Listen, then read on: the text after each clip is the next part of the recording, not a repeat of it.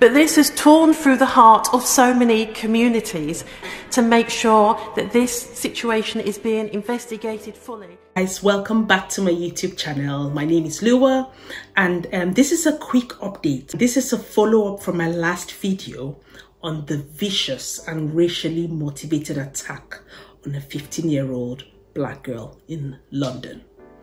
This happened um, on the 6th of February, one week ago today, and um, I came and gave a summary and showed bits of the attack. I also mentioned that if you have any news, there was a message from the chief inspector working on this. I'm pleading for the public to provide more information because this is an ongoing investigation which needed to be put together for a proper trial. Now, um, I know that since then, there's been a bit of an update and I just thought that I'll keep you guys up to date. So we knew already that five suspects had been charged with GBH as well as child neglect. But there's a bit more beef to the bone. This has opened a can of worms. Uh, I've had some feedback to people write to me, talk about history within that area and the attackers as well are part of minority group which within that area are generally feared. So that might be the reason why the public did not intervene, but that's beside the point.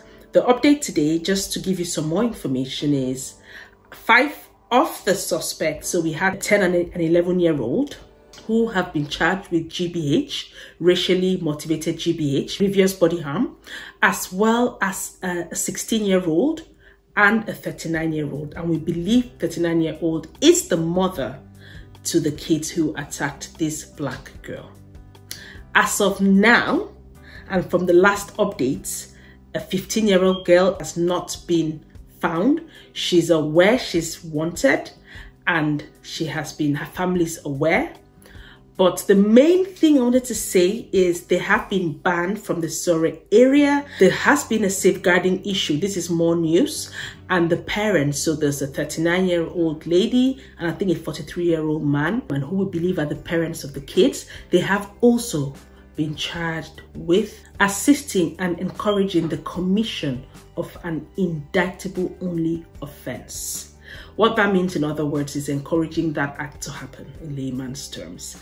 And um, so, yes, this is very consoling because a lot of people were quite aggravated that the mother was the one fueling the situation, gaslighting it, which is really the contrary what you'd expect. That's the first thing.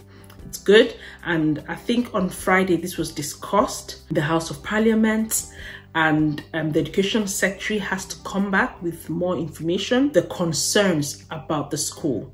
And just so you know, the school decided to release a statement, which I'll read, by the way, just hang on. And to my opinion, this statement is coming just a bit late. So I'll read this. This is from Thomas Knyvett College, and it's come from the, the principal, Mr. Richard Beeson. This before I read the statements, just so you're aware, there's been a petition which has had almost 150,000 signatories to sack and investigate the principal based on his approach to the attack, as well as the other staff who were involved and did not really act accordingly. So just bear that in mind before I read the statements out. It says, Dear parents and carers, you may be aware that one of our students was injured in a violent altercation outside of school yesterday as they were making their way home. We would like to reassure you that the police were called and are currently investigating. We understand from the police statement below that five arrests have been made in connection with this incident. We are supporting the police as they investigate the matter. If you have any information regarding this incident, please contact the police via the link provided, which I'll, I'll put in the description. We are aware that this incident will have caused concern among students and parents and carers.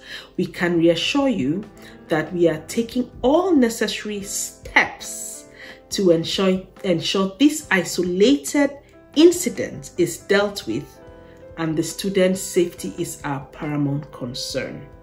If you have any questions, contact the school. Yours sincerely, R. Beeson. Now, it's early days and this is still being investigated, but I've got a few comments. I have been told that this is not an isolated case, okay? And it's been generally known that there have been similar racial issues around this area and within the school. So it'll be interesting to see where the petition gets us to and how much digging the education secretary is ready to get her colleagues to do to make sure that the students in this institution are well looked after and their welfare paramount importance as the letter has said. I'm here guys to give you guys all the updates but for now it's consoling to know that there have been charges five arrests been made and they're all currently on bail.